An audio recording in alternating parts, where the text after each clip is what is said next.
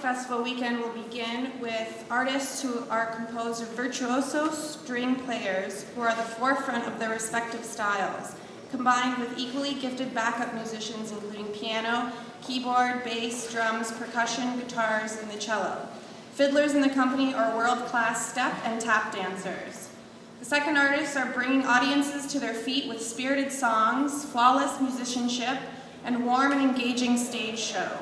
As well as his intricate songwriting has garnered him with wins in the International Songwriting Contest, song placements in film and television, and a place on CBC's Greatest Canadian Song Quest. Because you love Celtic, we have Beaufire and David Miles.